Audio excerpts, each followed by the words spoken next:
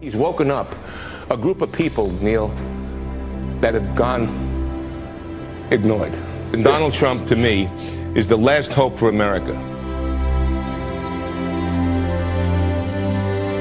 This country has such potential. I love the country. You have to have heart. You have to take care of women's health issues. You have to take care of poor people that don't have, that they're never going to have a shot and you have to take care of African American youth who have never been in a worse position than they are right now.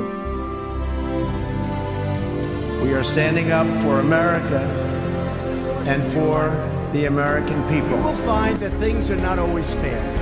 You will find that things happen to you that you do not deserve and that are not always warranted. But you have to fight, fight, fight. We are all Americans and we are all united by one shared destiny. So I'm asking everyone to join this incredible moment. I'm asking you to dream big again. Dream bold, big and bold. Dream big and bold and daring. You ready? You ready? Three, two, one, go! Welcome to the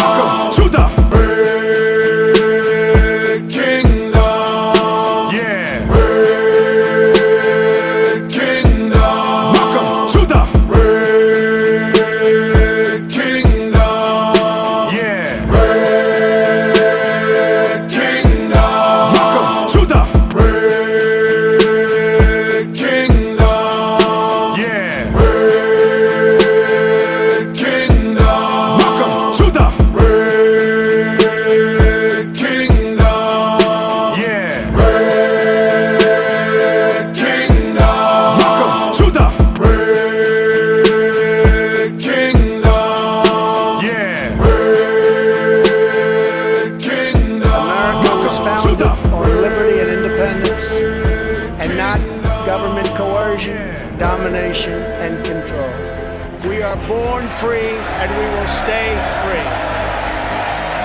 America will never be a socialist country.